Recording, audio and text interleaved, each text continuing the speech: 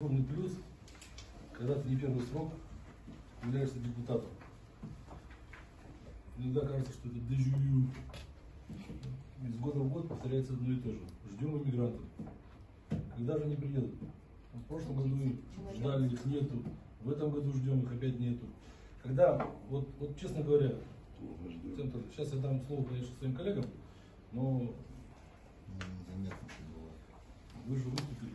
В чем у нас эффект по следующему году? Будет эффект? Какой эффект? В чем? За счет чего?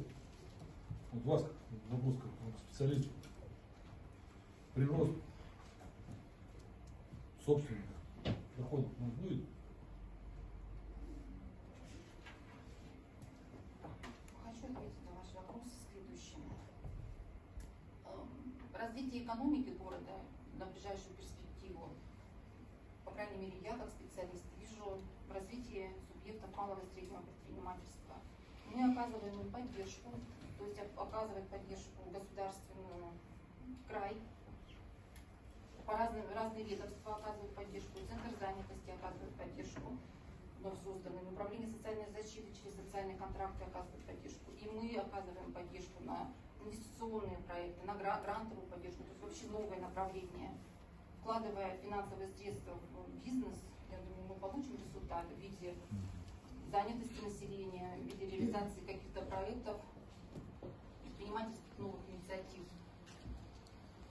Наши пр- пр- промышленные предприятия, то есть бывшие заводы крупные, оставили после себя промышленные площадки, на этих площадках развивается наш малый бизнес.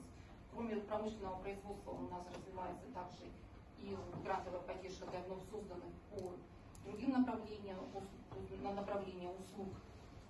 То есть, я в этом направлении вижу развитие города участие в краевых программах, во всех проектах, которые эм, под- подразумевают благоустройство территории, это же тоже у нас задействованы субъекты малого предпринимательства своими ресурсами и численностью занятых и производимой продукции, то есть как бы развитие я вижу через развитие субъектов. И на уровне края принимаются нормативно-правовые акты, которые направлены на развитие инвестиционной деятельности регионов. То есть речь идет о налоговой, о финансовой поддержке, то есть перес- пересмотрение этих вопросов.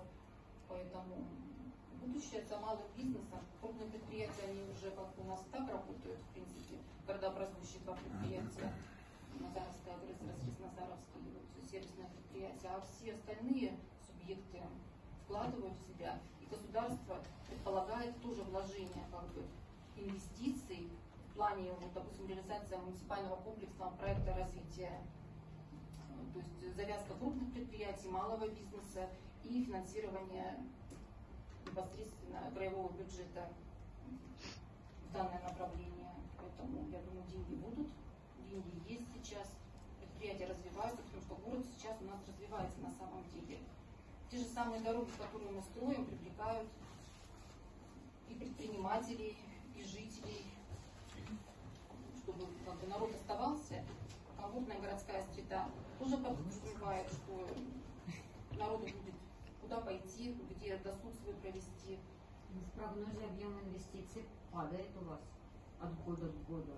Ну, потому что на данный момент мы не можем сказать точную сумму. Эта сумма как бы определена, а она с каждым годом, с прогнозом в итоге у нас как бы идет рост.